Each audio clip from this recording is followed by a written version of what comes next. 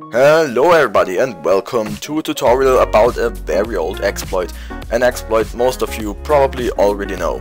The Frontier Pit exploit.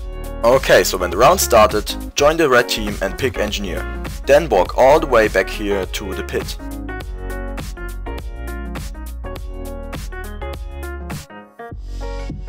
Now, jump into the pit. When the timing is just right, you can place a dispenser, teleporter exit or entrance. For whatever reason you can't place a sentry.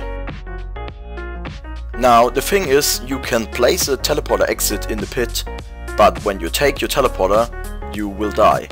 That's why this exploit is perfect for trolling your team. Just place your teleporter entrance in front of your spawn, and most of all your newbie teammates will take it.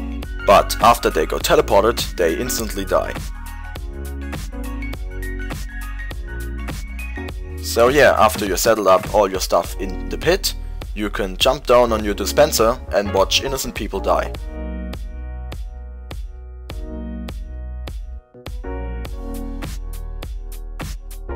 Not like this guy, he just fell down, but like this guy. So yeah, that's about it. That was the Frontier Pit exploit. I hope you enjoyed, even though most of you probably already knew it.